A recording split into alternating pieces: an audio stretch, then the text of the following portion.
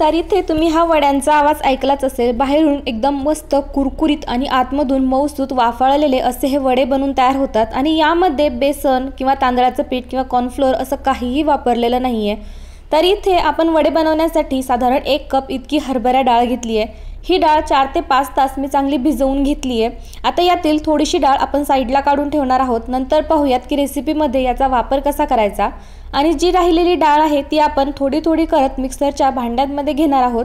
आणि छान मिक्सरला बारीक अशी वाटून घेणार आहोत. मात्र डाळ वाटण्यासाठी आपल्याला पाण्याचा वापर अजिबात करायचा नाही आहे तर हे बघा इथे अशी ही या पद्धतीने मी डाळ वाटून घेतली आहे पाणी नाही वापरलं त्यामुळे थोडीशी रवा रवाळ राहतेतच.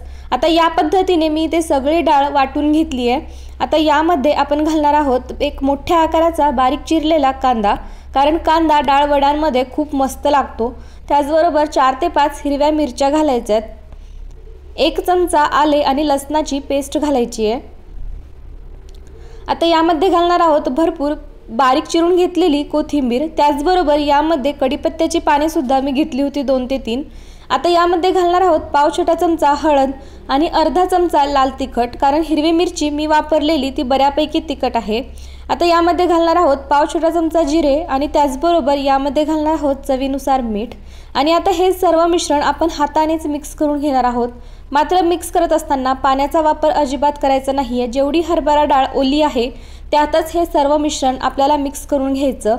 सुरुवातीला मिक्स करून घेतल्यानंतर यामध्ये आपण जी साईडला भिजलेली हरभरा डाळ ठेवली होती ती घालायची आहे. कारण काही डाळ वाटलेली आणि काही अशी पूर्ण तळल्यानंतर मस्त कुरकुरीत होते.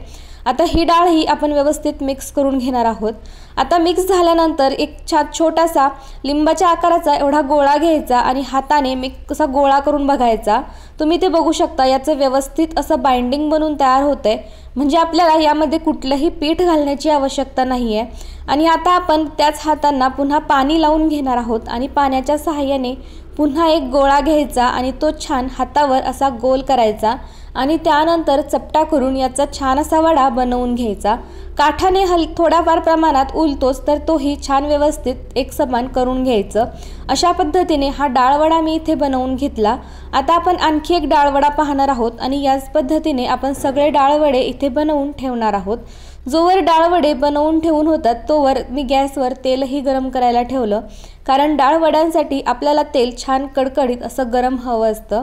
तर हे बघा इथे हा दुसरासुद्धा मी डाळवडा बनवून घेतला आणि या पद्धतीने सर्वच डाळवडे मी बनवून घेतले. त्याचबरोबर तेलही मस्त असं गरम झालं आहे आता आपण गरम कर कडकडीत तेलामध्ये हे वडे सोडून देणार आहोत आणि छान खमंग असे तळून घेणार आहोत. मात्र वडे तळत असताना हाय फ्लेमवर वडे कधीही तळायचे नाही. नाहीतर फक्त बाहेरूनच रंग येतो आणि आतमधून वडे शक्यतोवर कच्चेच राहतात. त्यासाठी मध्यम आचेवर हे वडे चांगले तळून घ्यायचे. जर तेल छान गरम झालं असेल तर तुम्ही लो हीटवर सुद्धा हे वडे व्यवस्थित तळून घेऊ शकता. मात्र थोडा वेळ जास्त लागतो पण वडे तळल्यानंतर खूप छान होतात. तर हे बघा अगदी या पद्धतीने या वड्यांना सुरेख असा रंग आलेला आहे. तर आता आपण याची बाजू पलटून घेऊयात आणि दोन्हीही बाजूंनी व्यवस्थित हे वडे तळवून घेऊयात. तर हे बघा इथे वड्यांना रंगही सुरेख आला. त्याचबरोबर तेलात जर तुम्ही बघितलं तर बुडबुडे जे येतात तळल्यानंतरचे ते एकदम कमी झाले. असे ज्यावेळी बुडबुडे कमी होतात तेव्हा समजून जायचं की आपला पदार्थ व्यवस्थित असा तळला गेला आहे आणि या वड्यांना तुम्ही रंगही बघू शकता. एकदम सुरेख असा रंग आलेला आहे. तर आता आपण हे तळलेले वडे काढून घेऊयात आणि याच पद्धतीने राहिलेले सर्व वडे तळून घेऊयात. कुठलेही जास्त मसाले न वापरता किंवा कुठलीही जास्त पिठं न वापरता आपण हे डाळ वडे बनवून घेतले.